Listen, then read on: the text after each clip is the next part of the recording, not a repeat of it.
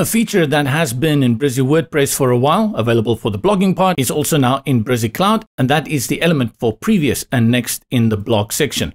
To show you quickly what I mean, here is my website, and this is a single post that I have here. When I scroll to the bottom, you're going to see we have this previous and next, and as I select next, it takes me to the next post. There you go. Let's see how this element works. I jump right back into Brizy. Into my CMS I go, and then we go to where your posts are. I have these posts here. I select all posts, five tips to develop your personal style as a designer, and I select here edit. Inside the page, let's scroll to the bottom and then go to the elements on the left. And from the panel, simply scroll down to the bottom where you see the category for blog. And here you will see the two new ones added, breadcrumbs, and check out the video for that. And the one we are working with here, navigation. Click, hold and drag and I'll drop it between those two line elements and it comes in by default looking pretty good the way you probably would want it. But you have styling options here. But before we go into that, I just want to point out that if you are going to use this element, it is good to put it inside a global block. So all of this content that will be repeated at the bottom of all your posts, put it in a global block. With that out of the way, let's see what we have here. At the top, you have the previous and the next, and these are labels. You can change it. So if I want to say previous post, you do it the Brizy way by simply clicking in there and typing over the text. Let's do it the same for this one as well. Once you have selected it, you have the options toolbar at the top. Let's go all the way to the left where the settings is. And we have a few here. The separator is this line here in the middle. And the 80% indicates the height it is filling of the container. If we type in there 100%, you will see it stretch all the way from the top to the bottom.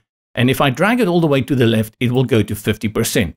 If you don't want a separator, select the value and type in 0, and you will see no more separator. Let's put it back, and let's go around for something around 80 again, and then look at the spacing.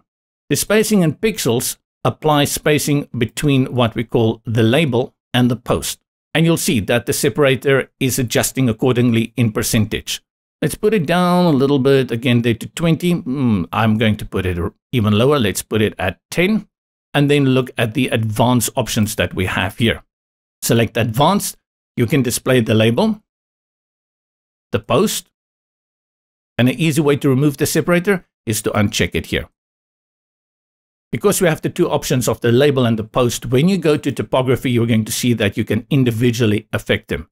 Here is the label, and you can, again, change the size of that, change the font, change the weight, and the same you can do for the post. I think you don't want to go too extreme with this to keep it professional. The same goes for color, and note here that you have default as well as hover. Start with the label at the top, then the post, and also the separator. I think finally the last part you probably want to check out is just the settings. You have control over the width of the entire container, and then you have the usual styling and effects. Important, once you have done that, go and check how this will look on your tablet to make sure it also behaves well there, and you have the normal responsive controls, whether you want to disable or enable this on your tablet and mobile displays.